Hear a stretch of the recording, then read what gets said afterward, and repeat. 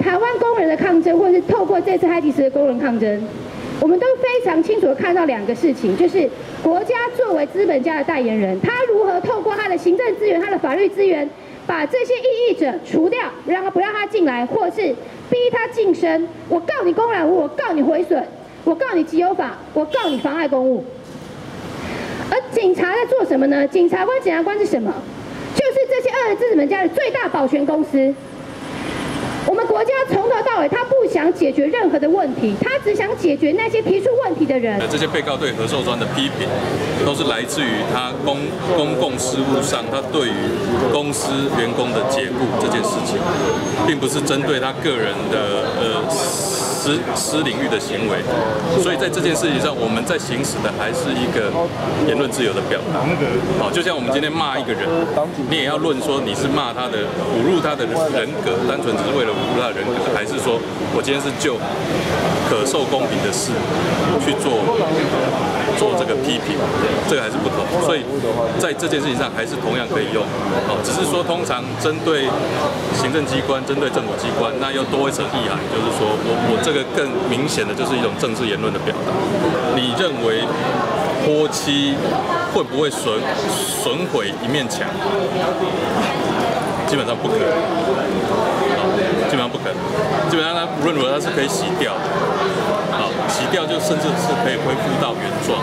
那你要用这个毁损这条罪名去定所谓的泼漆的行为、喷漆的行为或丢鸡蛋的行为，我认为是完全依托法条原本规定的精神。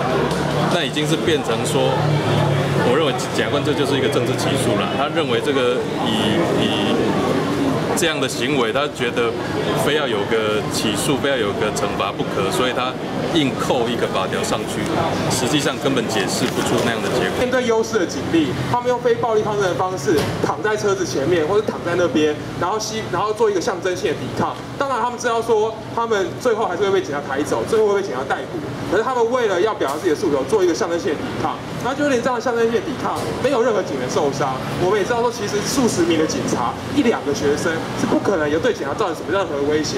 他也说站到这个强强暴胁迫，我不知道说强警察在强暴胁迫的意思是什么。只要有今天有人躺在那边，他就好害怕，我没有办法执行公务，所以我就被妨碍了吗？我们的社运工作者是这样以挡，有办法一个学生挡数十个警察吗？这强暴胁迫到底在哪里？检察官也毫无论证。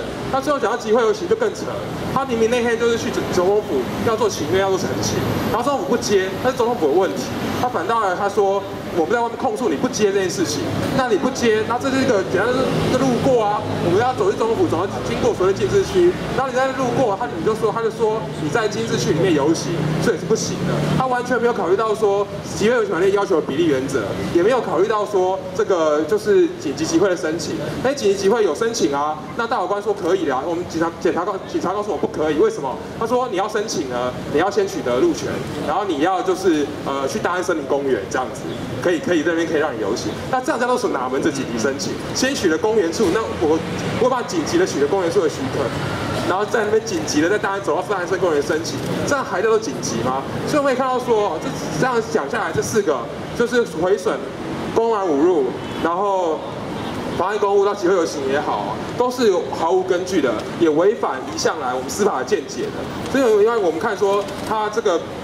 在历历年来，这各级法院，我们在列表里面有列出许多呃无罪的事项。大家的共同这些案子的共同点是什么？就是说，这个检察官他在国家的意志之下，他起诉了一些根本原本根本不是首谋的首谋，或是不够，或者要件不符合的这个案件，然后最后被判无罪。那今天。台地检署还是重蹈这个覆辙，我们感到非常非常遗憾。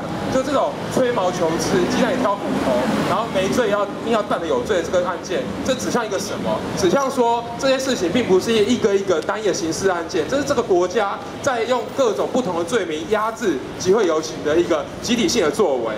他用的理由非常的正当哈，叫做保卫，叫做说这群人来台湾危害到台湾的社台湾的社会安全，所以我不得让他再入境。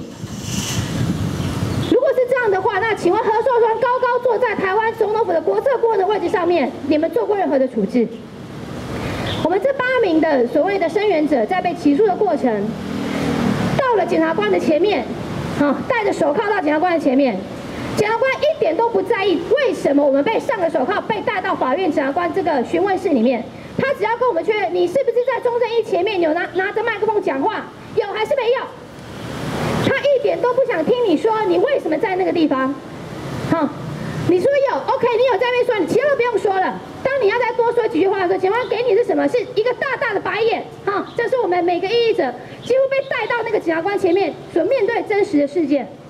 我们几个八名的韩国的这个在我们中正一前面那一场，八名被中正一以到到现场递送传唤通知为由而逮捕了这八名韩国异议者来抗争海底斯工人。很清楚哈，他当时用社会法为理由说他们违反社会秩序维护法，所以我到了合作专家前面，我要送档案通知给你。我送了档案通知之后，我立刻我出动了几乎两台警备车的警察，两台蛇龙车，把八个人团团包围在合作专家前面。而这个社会秩序维护法法的这个违反已经被法院撤销。请问我们台大台湾伟大的法院，台湾伟大的检察官，有任何一个人对这件事情警察滥权违法、警察滥权逮捕做任何的举动吗？完全没有。呃，老板或公司的财产权，跟人民的这个所谓工作权，一般人的劳工的工作权或他的这个言言论自由权利的相冲，所以在这件事情上，我认为检察官本来就要应该要去审酌说，那确实他的东西受到了这个波及，受到了弹袭，那这件事情跟他的他的财产权利的确受到一定的损害，但是。财产权利的损害不一定要动用刑法。嗯嗯嗯，对。今天他的东西坏掉，他其实可以用民事求偿的手段。对。那那个就没有这个问题。嗯。